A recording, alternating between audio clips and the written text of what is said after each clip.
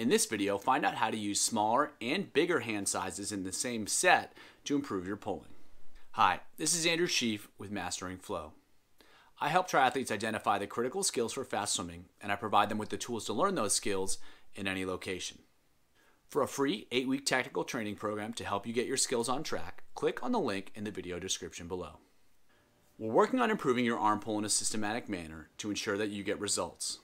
We're going over all the solutions you can use to improve. Once you know how to change your hand size, you need a strategy that you can use to put it into practice. The first step is to vary the hand position that you use.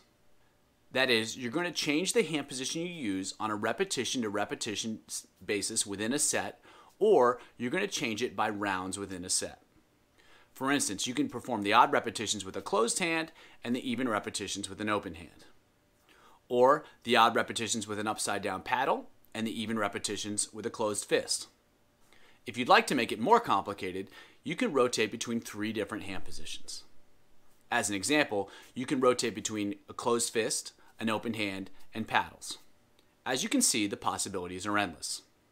So what's the benefit? Simply put, variability. You're learning to solve the same problem, whatever that set is, in slightly different ways. You're learning to create more force and move more water with each pull in slightly different positions.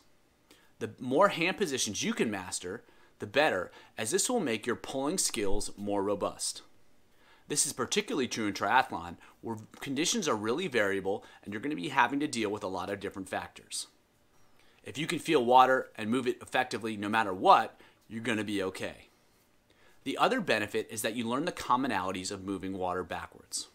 While each hand position requires slightly different strategies, they all require the same basic approach.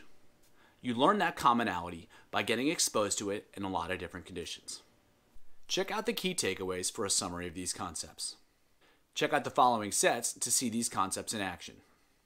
For access to digital copies of all the sets described in this series and others, click on the link in the video description below. You'll get free and immediate access.